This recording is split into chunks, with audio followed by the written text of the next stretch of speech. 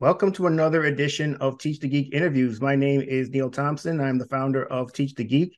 I work with technical professionals so they can present more effectively, especially in front of non technical audiences. And you can learn more about that at teachthegeek.com. Again, that's teachthegeek.com. If you are watching this episode, remember to leave a comment and subscribe to the channel. And if you're listening, a review would always be appreciated.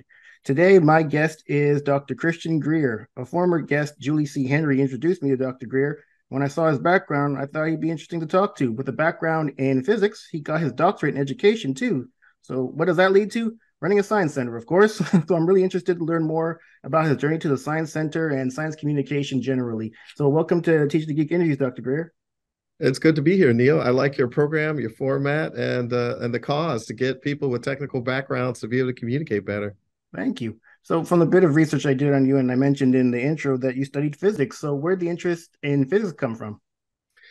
Well, you know, it started at a young age. I was always interested in astronomy and space primarily, and then I ended up uh, uh, deciding that physics might be a good channel in that in that direction. Uh, I used to hang out as a kid at the museums in my hometown of Chicago, and back then all the museums were free, uh, the ones that were on Park District land. And my uh, parents got a a membership to one of the museums. We I think we have memberships to several, but the one that I remember the most was the Adler Planetarium in Chicago. It's a big dome building on sort of on a peninsula in Solidarity Drive, uh, just sort of south of the downtown area and uh, right on the lake. And I just thought it was picturesque. I thought uh, looking through the telescopes, the observatory was cool, and you get a lot of behind the scenes tours. So got hooked on on science in that way, and then ended up going to Morehouse College for physics. Nice. But then you didn't stop there. I mentioned you got a doctorate in education. So what was the the motivation to get that degree? Well, after physics, I had no intention of going back to school. It was hard. so I didn't think I would ever go to graduate school. But what ended up happening is I was at a technical conference um, called ISTE. I don't know what it's called now, or maybe it was called NEC at the time, but it was like the uh, International Society of Technology Educators or something like that. And uh, while I was there, uh, there was a, a, table for a university program at Pepperdine University, and at Pepperdine they were doing an online uh, program to teach people how to, you know, use um, technology to be able to educate people. And, you know, in my mind, I think of education as really expanding someone's learning potential and think about the impacts of using technology to be able to do that. It's great. So I, I figured that was the future, wanted to be involved in it, and uh, ended up going back to graduate school and then later got a doctorate in learning technologies as well. My interest was in uh, distributed leadership and communication through online learning circles. So uh, having learning environments where people connect uh, as groups of people in agile ways um, through technology. So, how did you decide to get involved in science communication in the first place? Well, it was kind of uh, accidental in a sense because, um, you know, for me, when I was working at the planetarium, I uh, didn't have an internship. I was interested in going to aerospace engineering at the time. And um, I had taken some sort of pre engineering programs at uh, Georgia Tech when I was at Morehouse in Atlanta and wasn't sure what I was going to do for the summer. I'd apply for different internships, didn't get anything. So my mom was the one that recommended, "Hey, you used to hang out at the planetarium. What if you went to the planetarium to to uh, you know see if they have any jobs?" And I was thinking, well, you know, I'm not so much interested in astronomy now. I'm more interested in aerospace engineering. Um, but I ended up giving them a call. They asked me to come in and interview. I interviewed and got the job.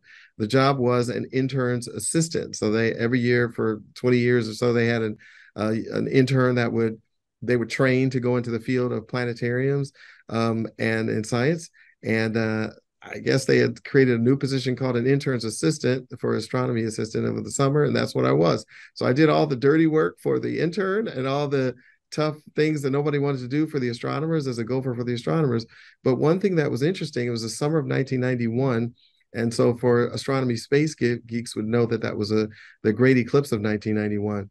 Uh, during that time, while I was still in college, uh, you know, they asked me to go and help out one of the interns to be able to facilitate conversations in front of groups of people for the eclipse. So they had a projection screen uh, of the eclipse, and he was narrating what was going on.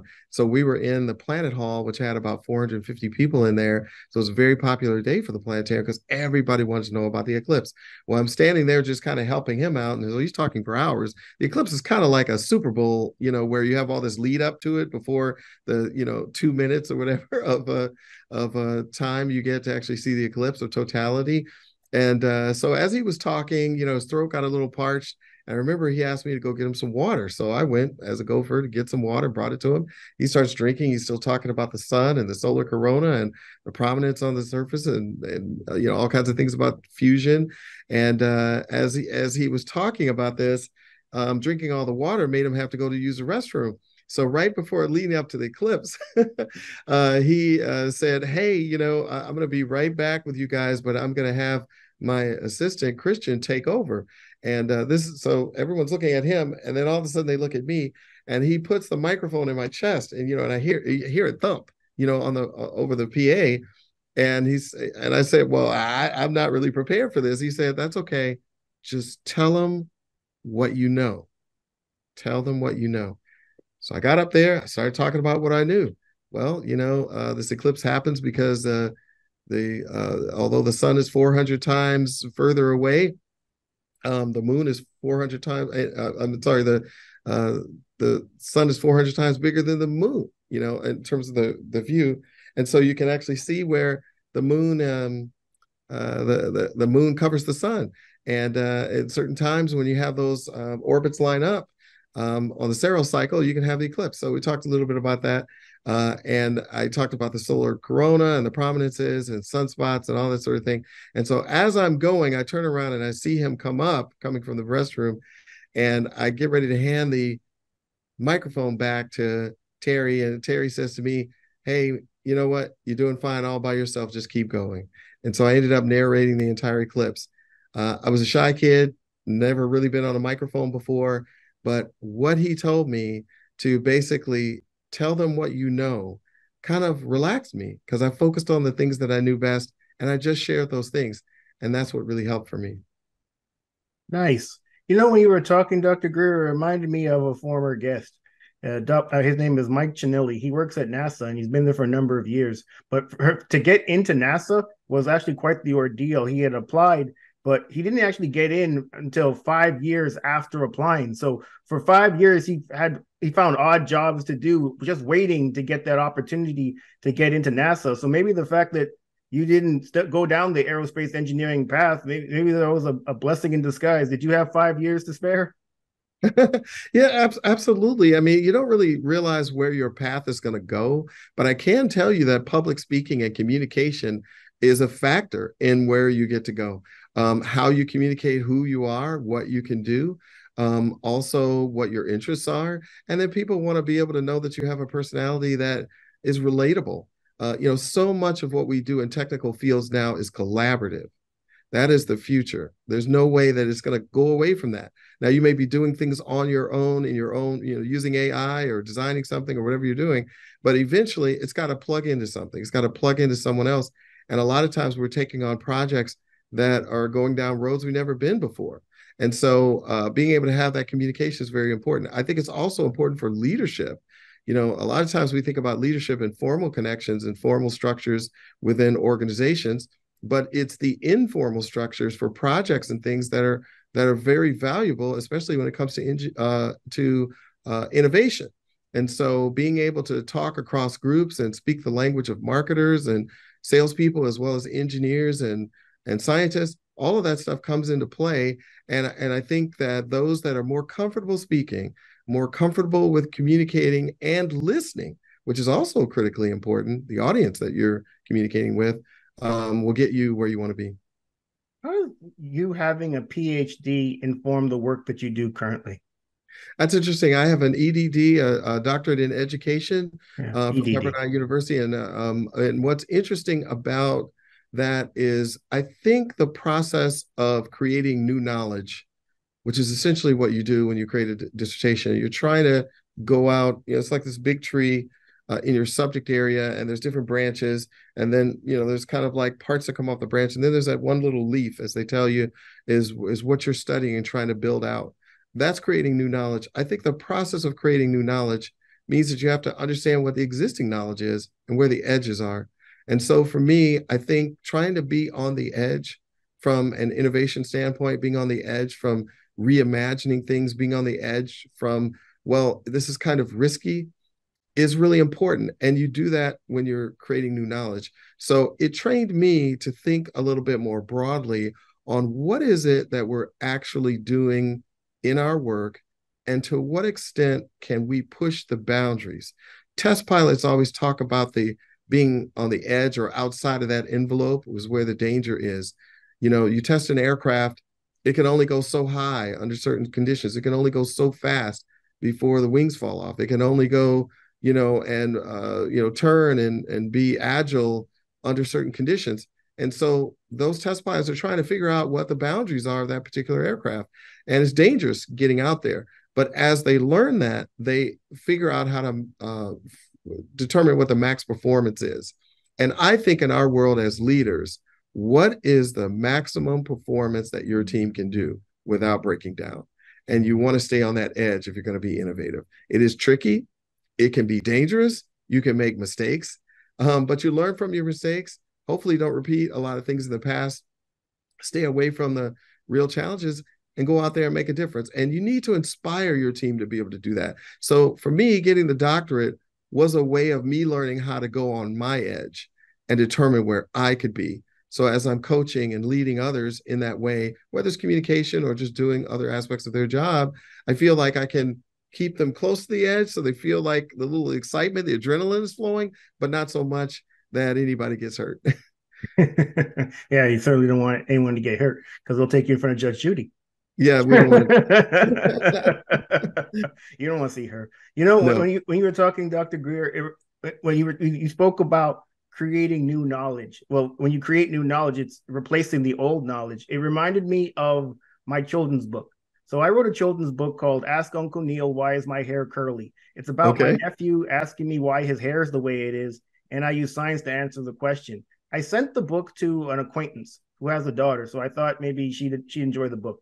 And when I, I called him afterwards to find out what he thought of the book, he said that he liked it, but the ending was a bit underwhelming for him because I guess spoiler alert, there is no scientific consensus as to why my nephew's hair is the way it is. So okay.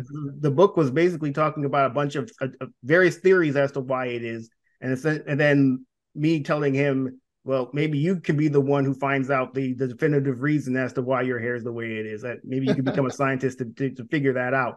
But the the acquaintance I sent the book to didn't really like that. He wanted an answer. I, I the reason that your hair is the way it is is because of this. So when you were talking about figuring out you know, or just introduce or creating new knowledge to replace the old one, it just reminded me of people who, when they think of science, they're a bit skeptical about skeptical about it because things don't always aren't always I guess black and white. There's always a, a, a an answer. So how, how, do you, as a person who's, who's been in science communication for as long as you've been in it, how do you I guess address those type of people who are looking for answers and just this is it and this is what it's going to be?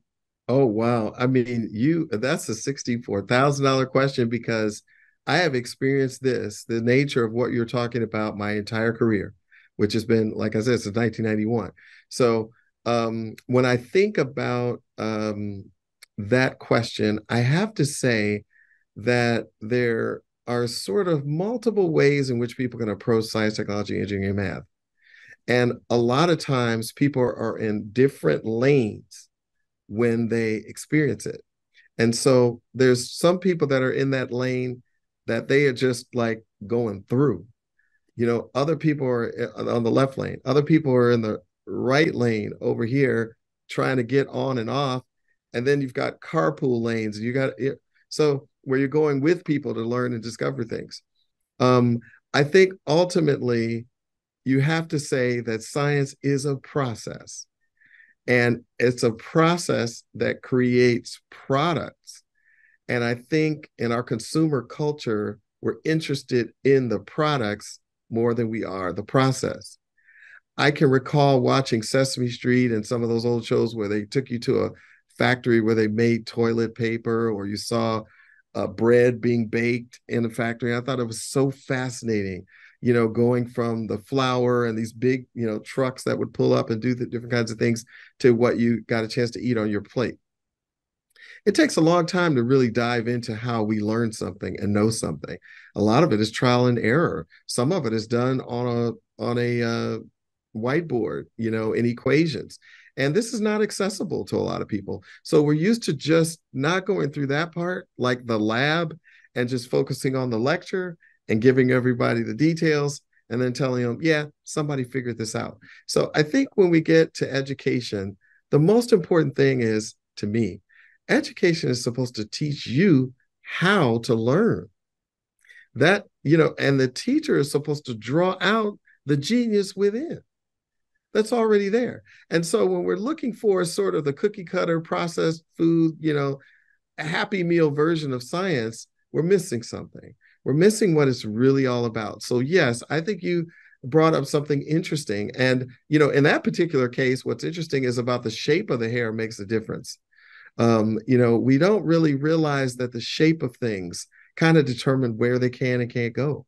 Uh, the wings have a certain shape so that lift is created. So the plane, when moving through the air, will go up. You know, there's certain kinds of shapes that you see with a comet's tail, where the pressure of the sol- solar wind is is pushing you know both of those tails back the ion tail and the dust tail back the shape of a boat going through the water and deciding whether it needs to be you know uh, designed this way or that way. All these things have to do with just the process of understanding how things work how the world works. And not everybody is comfortable with that. But i love the questions because the questions keep the process going. If we had everything figured out in science and it was done which i can't imagine would be the case I think we would learn a little bit about the natural world, but we would still be trying to discover a lot about ourselves. And that's why I think now, at the edge of our knowledge, scientists are starting to be more comfortable diving into understanding what consciousness is, because that is how we perceive things. That's what separates the objective from the subjective. So I think that book makes a lot of sense because it starts with something easy, a basic question like, why is the sky blue? And guess what? People don't have time to answer those questions. They just take it for granted. and this is the difference between someone who is on the fringes of science and someone who's on the front lines uh, into discovery. And I'm hoping that more people get more into the process and ask these questions. They lead to more questions and they learn how to be better explorers, discoverers, better scientists, technologists, engineering engineers, and mathematicians.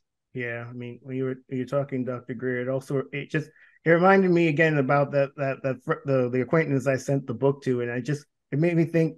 I wonder what type of schooling he got when he was a kid. Did right. he even get a whole lot of, of science education when he was going through school? Because when you think about it, science is all about change. I mean, the the, 100%. the car was created in what the 1800s or so by Henry Ford, but the car of Henry Ford's time is way different than the yeah. car of today. I mean, we have cars that are being driven by nobody right now.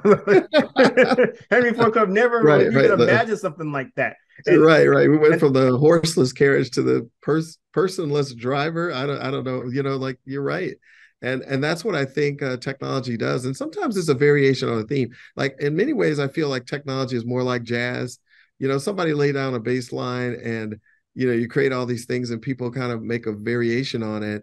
But invention is really where where it, it, happens. Those are sort of the revolutionary things that take place because now we just don't do something anymore. We don't need to because this does it for us. And that's what i think is so scary challenging and hopeful about ai you know like how much do you really need to use your brain now? We know that it's nice to not have to use our backs in making roads and you know using uh, construction equipment but now what does that mean for the brain? And what is the brain going to do when certain things that we counted on it to do before are just not needed? Um, and will it atrophy just like our bodies do? And i think that's a that's a question we have to explore as we go into these new realms yeah 100% you know, before we started recording, you had asked me about the the genesis of what I do, and I mentioned that it was me giving presentations in front of management and not being all that great at it. But I got a lot better at it because I saw the benefit of doing so. When right. it comes to giving presentations or just public speaking generally, is that something you've always been good at? And if not, what did you do to get better at it? Well, I don't think I've always been good at it. Um, I may have had some natural ability to do some things. You just never know what's on the inside of a person until you put them in that situation. But I was shy, like being in front of people and talking. I think in part because I never felt like I knew enough. Um, and especially the story that I um, uh, you know, shared regarding the planetarium. I'm around all these astrophysicists, and I'm still a physics student. Like I was so far away.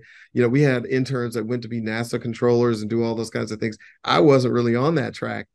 Um, but I think uh, you have to come to grips with something uh, where there's a need.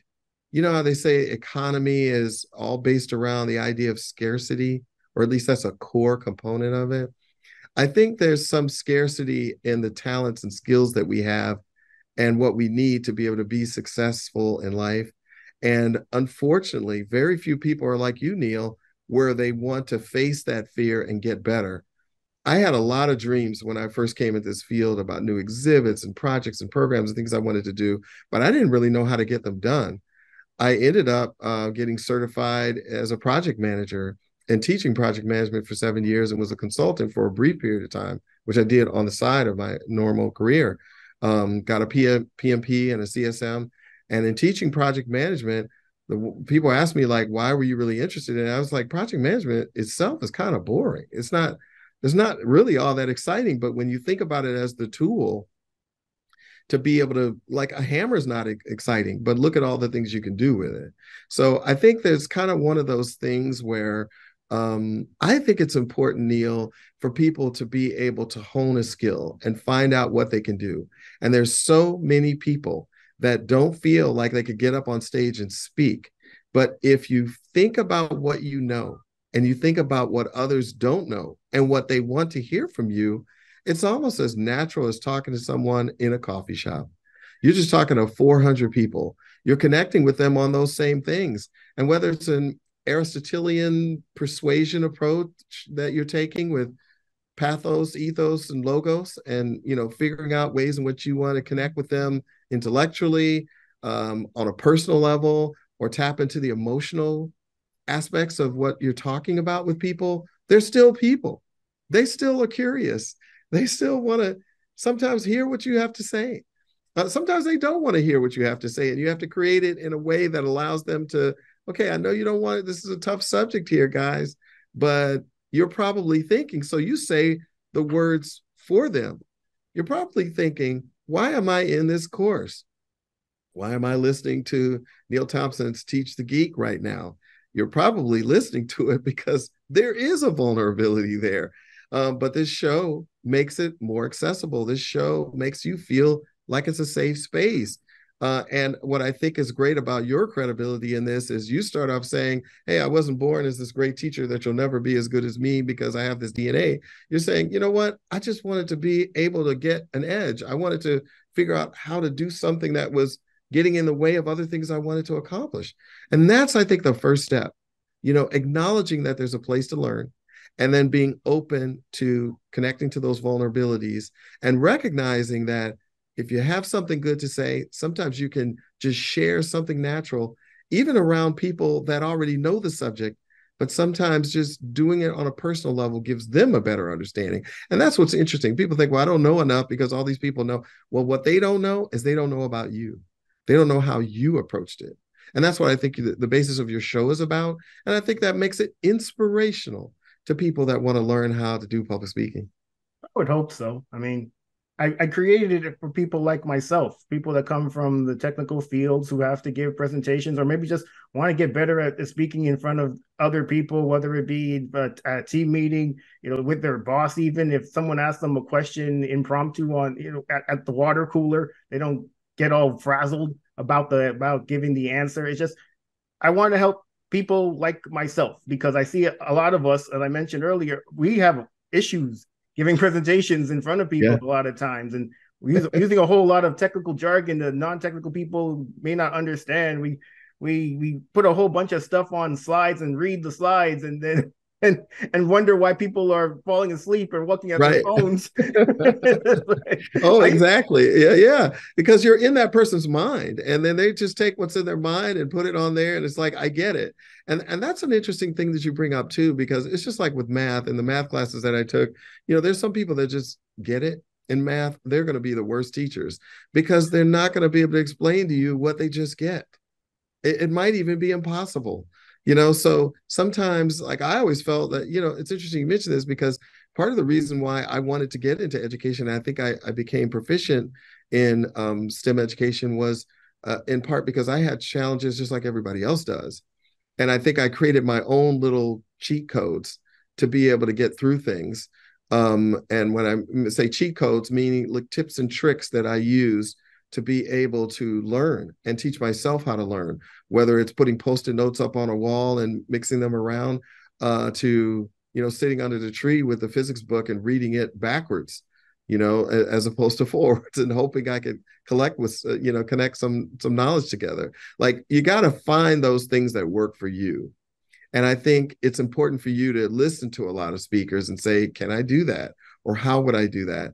And then take stories that you know that you're comfortable with and begin to do that storytelling. I mean, people are like, "Oh, I don't do public public speaking." I, I had someone just a couple years ago, and now that you reminded me of this, well, the person was like, "I don't want to talk in front of people and that sort of thing," and we were just having a conversation at like a picnic.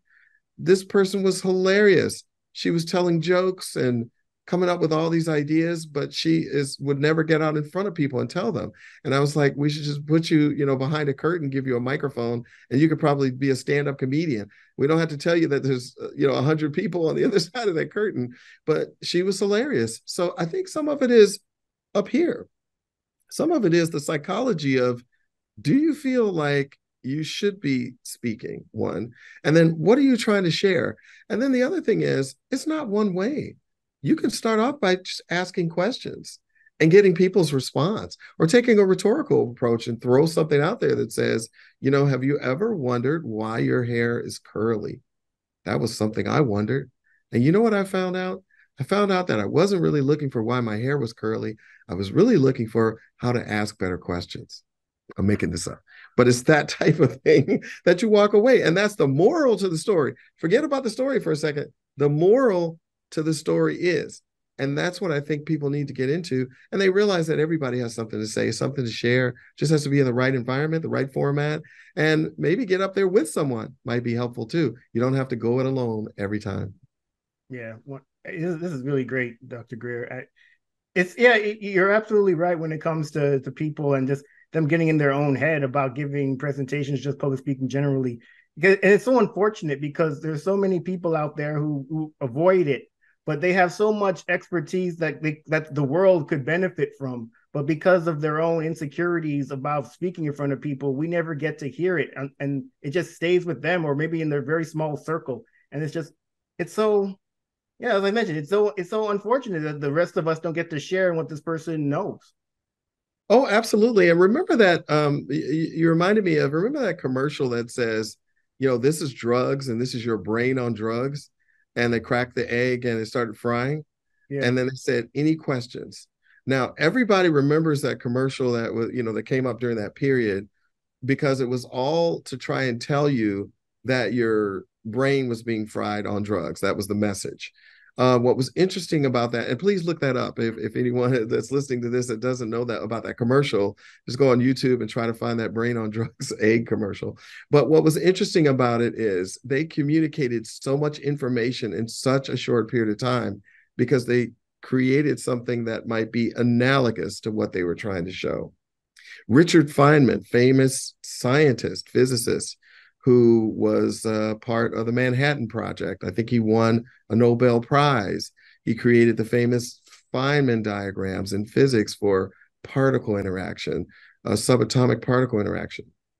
He had a great way of thinking about things. He was kind of a um, an oddball as a physicist because he didn't really think about it in the typical classical ways. He was almost like hands on with his theory uh, how can you be hands-on isn't that what experimentalists do you know like but he was trying to be able to let people know that this was accessible You know, so he would put his hands together and say, just imagine a bunch of things vibrating like this. Well, that's what's going on. And then you're like, oh, I get it. Nobody really started it in that way. And that's because understanding and sometimes the way we teach it, two different things. You know, we don't teach it from a human centered approach. So a lot of technologists are doing more human centered design, which is around empathy. If you take empathy in that design process, um, if it's a empathy based or human centered design process, you start there. You start by understanding, well, who am I talking to, first of all? Like you go up and give a speech. Some people give a speech, doesn't matter who's in the room. They're going to say the same thing the same way, regardless. Other people are like, well, how many people are in the audience? What are they here for? What are they expecting of me? What do you want me to talk about? That sort of thing. And then once they get that, they tune everything to what they think is going to work. And I'll tell you, Neil, I think those folks that are a little bit more um, flexible and able to take the input and the feedback loops that are necessary for any functioning system, um, it's important for them to put themselves in the position of the person sitting out there or that they're talking to in the room or they're sharing something with um, so that they can get it too. And and and it becomes a journey that we go on together not just a one-way conversation 100% empathy for the audience is is something that should be in, in the forefront of most speakers if not all speakers minds. Is you weren't always the expert that you were. Just put yourself in the position of the people that are in the audience and what what what can you impart to them that can at least have them understand at least a little bit about what you're talking about? I, I fully Absolutely. agree with you. This, this has been a great conversation dr greer thank you for being a guest. How can people get in touch with you well they can get in touch with me uh, by going to uh, where i work at the michigan science center in midtown detroit at my mi dash sci.org. That's mi-sci.org or the Michigan Science Center. I serve as the president and CEO there. I've been in this role for about four years. These last four years have been pretty interesting, going through a pandemic and all sorts of things. But um, but it's been fun. Learn a lot about leadership and happy to talk to people about it. Or you can go on LinkedIn and find me at Christian Greer uh, uh, on LinkedIn at the Michigan Science Center. I'd be happy to connect. Excellent. Well, everyone, that marks the end of another edition of Teach the Geek interviews. My name is Neil Thompson. I'm the founder of Teach the Geek. I work with technical professionals so they can present more effectively, especially in front of non technical audiences. And you can learn more about that at teachthegeek.com. Again, that's teachthegeek.com. Until next time, take care and stay safe. Thanks, Dr. Greer. Thank you.